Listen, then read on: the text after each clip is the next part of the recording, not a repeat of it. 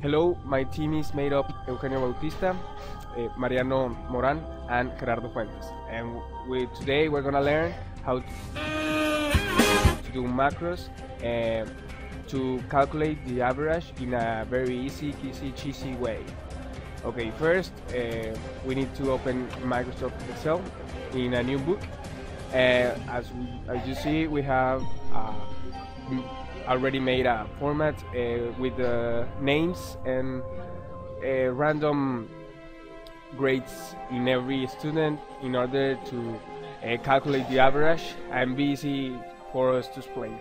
Okay, uh, where first we need to go to the View tab and in the option Macros we click in Record mac ma Macro and in macro name we put um, as whatever your your is your as you desire. Uh, then in the store macro is in this workbook uh, we, we, are working, and in the description uh, just we put this macro will be used to calculate average, the average of the grades we already have.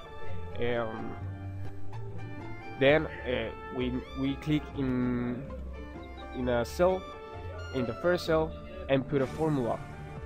And in this time, the macros macros option is recording all we are doing in this book.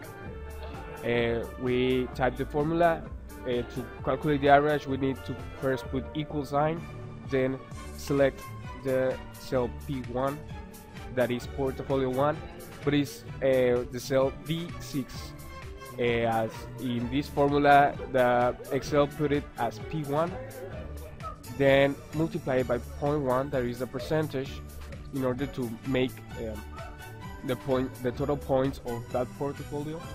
Uh, then we add all, all of the cells uh, by multiplying by point and the uh, percentage it would correspond to each one. And we are now in E1 then E2 we we don't need that information just there so e, E2 and uh, multiply that with percentage. And E final. That is multiplied by 0.20 or 0.2 and then we see that now the formula is already copied in all the cells in all the columns all the rows and we let get let out the decimals. And now we need, we need to go to the down to, to the left left corner.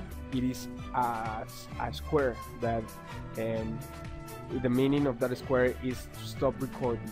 To in order to macro stop recording. Now we we already made the formula macro was recording now macro uh, is now not recording. And we need to do we use we need to go to customize quick access toolbar in quick access toolbar we go to popular comments and click all comments. We search for a bottom a bottom from control.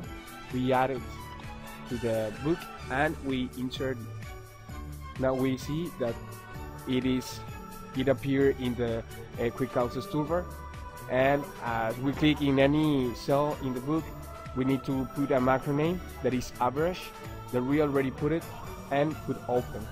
Now the the button is already insert and we we can change the name. As we desire now now in this case we are getting the average. And uh, well, like an example, we are gonna erase all the record we we put in the in the formula uh, to demonstrate that the bottom actually works and the macro uh, record correctly. We click to the bottom, and as we see the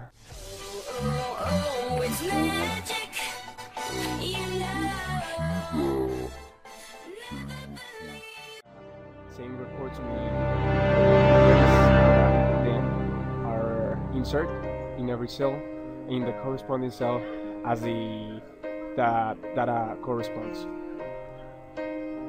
Okay, uh, that is all for our final project. Um, we wish you learn something, uh, how to record macro, and oh, thank you.